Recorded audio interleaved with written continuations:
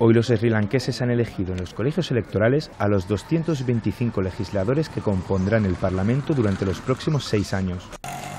Los colegios electorales cerraron a las 4 de la tarde y aunque todavía no hay cifras oficiales de participación, la campaña para las elecciones libres augura que un 65% de votantes hayan pasado por las urnas.